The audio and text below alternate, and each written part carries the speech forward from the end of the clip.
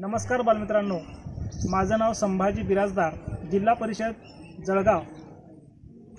मित्रांनो आपल्याला उत्तम आरोग्य ठेवण्यासाठी जशी व्यायामाची गरज आहे त्याच प्रकारे आपल्याला योग्य दिनचर्याची सुद्धा गरज आहे. जर आपली योग्य दिनचर्या नसेल तर आपल्याला वेळोवेळी अडचणीला सामोरं जावं लागेल. आता योग्य दिनचर्या म्हणजे काय?